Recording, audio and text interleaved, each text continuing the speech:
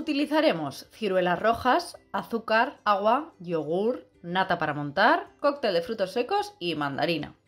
Lo primero será lavar las ciruelas, quitar el pipo y trocearlas en gajos.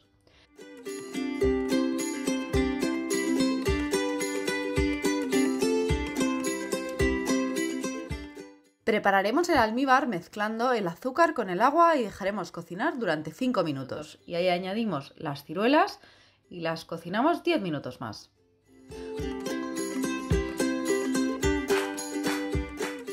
Montamos la nata, que tiene que estar bien fría, agregando el azúcar cuando ya esté semi montada.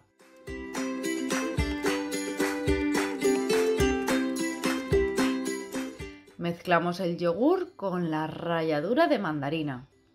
Y por último, con la nata que habremos montado previamente.